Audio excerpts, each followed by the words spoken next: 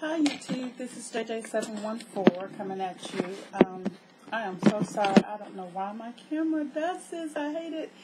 But um, as you can see, I got my hair rolled up. I am actually going to um, get ready to sit up under the dryer now.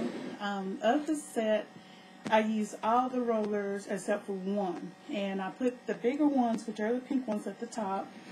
Um, forgive me the bigger ones, which are the ones at the top, um, excuse me, and the medium ones I put on the front and the side, but actually I probably should have used the smaller rollers for the back because my back is actually a little bit longer and I have the pink and the yellow, I mean the purple and the yellow ones in the back. Um, I'm going to set up under the dryer for probably about 45 minutes to an hour, hopefully not that long because I don't like sitting up under the dryers. And um, after I finish drying and getting dressed, um, I'll come back and let you take a look at it.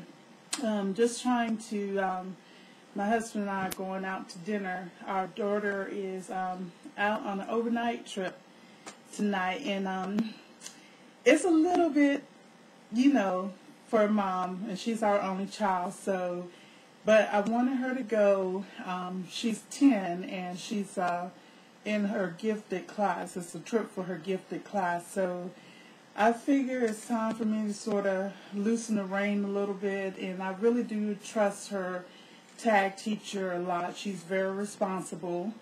Um, so I'm not um, concerned at all right now about um, you know, anything happening or whatever, but um, it's just, you know, she's my baby, and I know, you know, people say, well, you shouldn't call your child a baby, but I look at she's my only one. Um, I really went through a lot when I was pregnant with her, so um, we do have a special bond, and um, I spent a lot of time yesterday and even Saturday getting her prepared, so I was excited for it, and overall I'm doing pretty well. I think when it will really hit me is tonight because I'm so used to us having conversations and everything. And uh, it's funny, her school bus actually came, and I looked and I was like, oh, she's not on the bus today.